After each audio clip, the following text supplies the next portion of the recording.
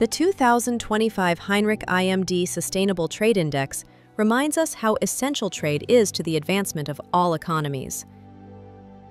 Amidst rising levels of global trade uncertainty and protectionism, this year's report assesses how 30 economies manage the complex interplay between economic growth, social inclusion, and environmental stewardship. Some economies no longer align behind shared best practices like liberalization, openness, or multilateralism. As a result, all economies now operate in a fragmented world shaped by strategic divergence rather than consensus. This year's report moves beyond performance benchmarking to explore how economies are positioning themselves in response to increasing trade tensions.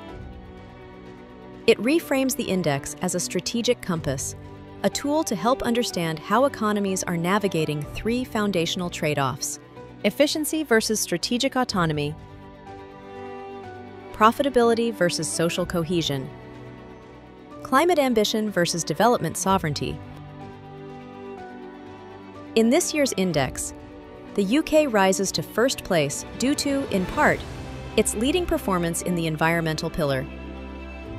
New Zealand finishes second, after a customarily strong performance in both the societal and environmental pillars.